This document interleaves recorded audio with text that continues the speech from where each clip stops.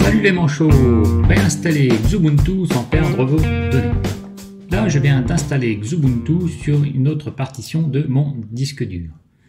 Je vais lancer le logiciel Gparted.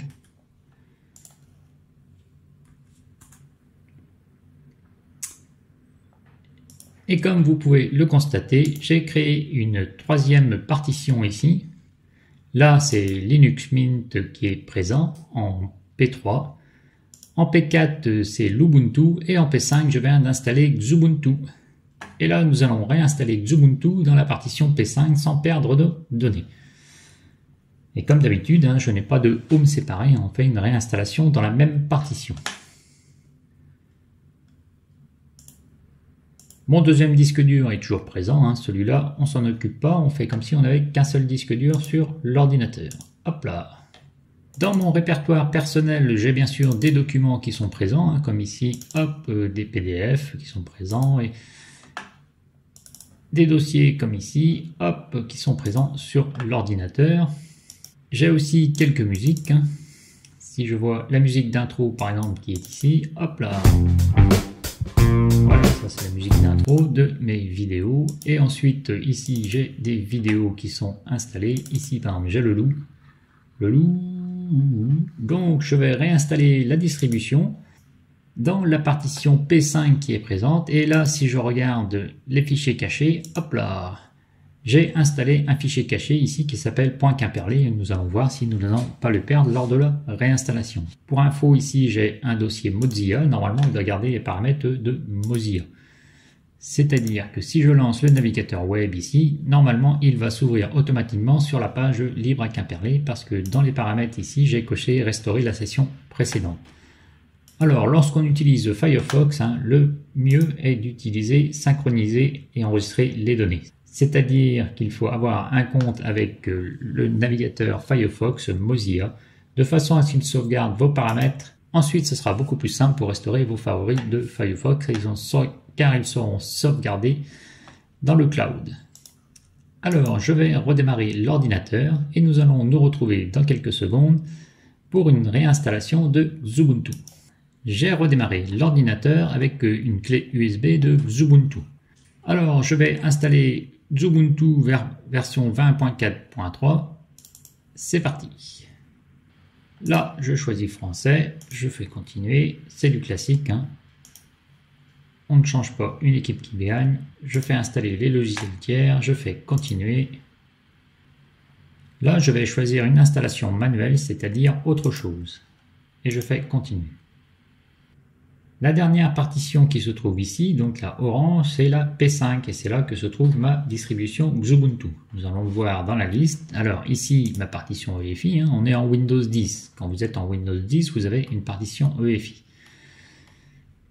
Donc on utilise la partition EFI pour la réinstallation et ici j'ai bien ma partition avec Xubuntu en P5. Ici la Lubuntu et ici c'est Linux Mint. On le voit Linux Mint 20.2.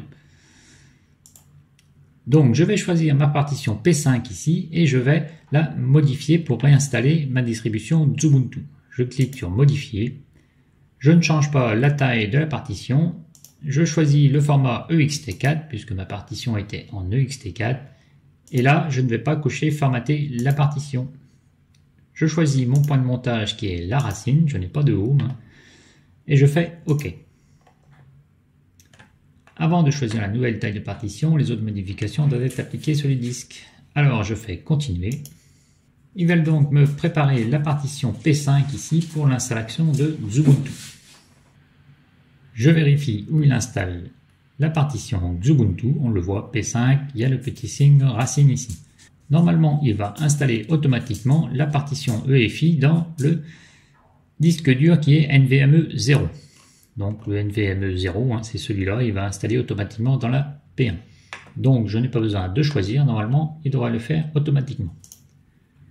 Le système de fichiers sur DEV NVMe 0 et la partition P5, hein, comme on le voit ici, assigné à la racine, n'a pas été marqué pour être formaté.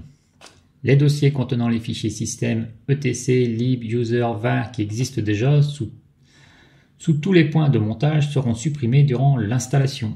Donc ça, c'est un message d'avertissement.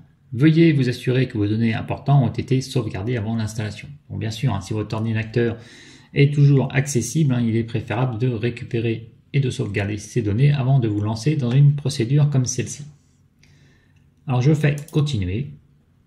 Aucune modification des tables de partition et qu'une création du système de fichiers n'ont été planifiées. Si vous prévoyez d'utiliser le système de fichiers existant, il est possible que la présence de certains fichiers puisse perturber l'installation du système de base. Je vais tester de valider la partition EFI qui se trouve ici. Je vais faire modifier.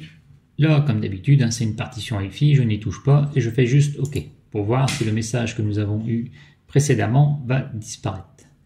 Mais normalement, il doit automatiquement utiliser cette partition pour installer le FI. Donc là, j'ai juste fait modifier, mais je n'ai rien changé. Hein. Il va utiliser la partition, il ne sera pas formaté. Et comme on le voit tout en bas, la partition EXT4 avec la racine ici, c'est toujours bon pour installer la Ubuntu. Donc je fais installer maintenant, on va regarder les messages, donc ça c'est le même message que tout à l'heure, on regarde le suivant, donc on a toujours ce message là, on peut faire continuer, hein. Il n'y a pas de risque, tout va bien se passer. Ensuite je fais continuer, Bien sûr, il faut utiliser le même nom d'utilisateur hein, pour pouvoir récupérer votre home au même endroit. Le mot de passe, vous pouvez le changer, hein, ce n'est pas un souci. Et je fais continuer. Et voilà, la réinstallation est terminée et là, il vous envoie un message d'erreur lors de la restauration des applications installées. Une erreur s'est produite lors de la restauration précédente installée, l'installation va continuer, vous aurez peut-être besoin de réinstaller certains logiciels après le redémarrage de l'ordinateur. Donc je fais valider. Là, je fais continuer à tester, j'enregistre la vidéo et je vous récupère au redémarrage de l'ordinateur. L'ordinateur vient de redémarrer et là, je suis avec Xubuntu. J'ai été obligé de réinstaller le logiciel VocoScream, il n'était plus présent sur l'ordinateur. Et je tiens à vous signaler aussi que nous avons un petit souci avec la Logitech. Car il faut savoir que le nom logiciel, c'est la Logitech de Xubuntu lors de l'installation. Mais une fois que vous aurez effectué les mises à jour, le nom va changer et ce sera une boutique des snaps. Et à ce moment-là, le, logiciel ne sera plus disponible ici dans vos favoris. Il ne sera plus disponible d'ailleurs dans la Logitech ici et vous allez le retrouver dans le raccourci qui se trouve ici, c'est le raccourci système et vous aurez boutique des snaps. Sinon, il faudra taper ici snap pour retrouver le logiciel qui sert à installer des logiciels, bien sûr, sur votre ordinateur. Alors ça, c'est un petit souci, hein, je trouve, sur Xubuntu, qu'il change le nom du logiciel qui sert à installer les logiciels. Donc c'est celui-là qui est indispensable. Il change de nom et ensuite, vous ne le trouvez plus ici dans votre favori ou dans les menus, puisqu'il a changé de nom. Il s'appelle Boutique des Snap. Donc ça, c'est une petite info que je voulais vous donner. Sinon, la réinstallation s'est bien passée. Hein. Hop là, je vais dans mes documents et je retrouve mes documents ici. Hein. Les documents PDF est toujours présent. Je vais dans mon dossier musique et là c'est pareil, hein. j'ai toujours mon dossier d'intro qui est présent ici et ça fonctionne sans souci. C'est une procédure à essayer hein, de réinstaller votre système sans tout formater. Donc là on voit que ça fonctionne et cerise sur le gâteau, comme on avait fait un essai, je fais affichage, affichage des fichiers cachés. Et là, vous voyez mon dossier Quimperlé ici, point Quimperlé que j'avais créé. Il est apparu, il est toujours présent. Donc les paramètres qui sont normalement configurés dans les fichiers cachés qui sont présents ici sont toujours conservés. J'ai essayé le navigateur Firefox Web, mais quand je le lance, j'ai la petite erreur ici, il veut me faire créer un nouveau profil. Donc je fais créer un nouveau profil, hein. il n'a pas conservé le profil que je lui avais mis tout à l'heure, hein. mais comme je vous ai déjà précisé, hein, le mieux c'est d'avoir un compte Firefox pour sauvegarder tous vos favoris sur le cloud. Voilà pour la réinstallation de Xubuntu assez rapide et efficace pour garder vos données personnelles.